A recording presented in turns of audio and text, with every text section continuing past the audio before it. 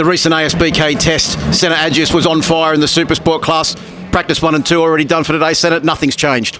No, we've gone. We've topped both practices this morning.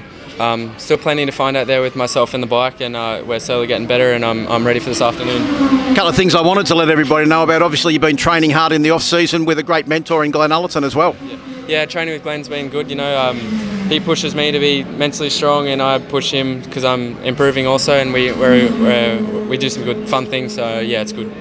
The other thing is that you're heading off, I think it's Tuesday after this meeting, over to uh, Spain, the next uh, step in your journey. Yeah, so we're using this round as like a to kick off the year, so we're taking it quite seriously, and I'll be off on Tuesday to start the round with our Promoracing team in the Moto2 FIM CEV Junior Championship, so yeah, ready for that. So great practice this weekend actually riding a 600 because that's uh, essentially the style of bike that you'll be riding over there.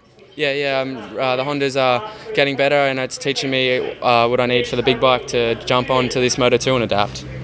Now, it's been a couple of years since you've actually uh, won a championship here in Australia. You've been overseas. You seem to have developed so much as a rider. How much do you think you've improved over those last couple of years? Yeah, 100%. I've gone from, I've adapted to a big bike extremely well. Um, uh, always looking to improve on, on myself. So, yeah, I'm, I'm happy with the improvement, but definitely can't be too happy. So, there's always time to find.